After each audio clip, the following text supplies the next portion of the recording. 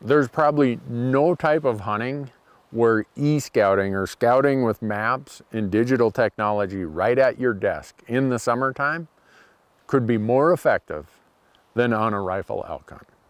And the reason is these maps can help you identify exactly where these places are that elk are attracted to in the rifle seasons. We know that these are sanctuaries. You can easily identify them. You can identify multiple sanctuaries and go check out as many of them as you possibly can. But once you build this plan, stick to it. Don't give up on it.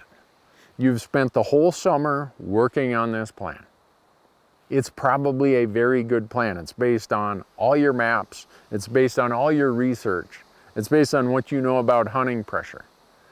Don't throw that plan away because you didn't get your elk opening morning.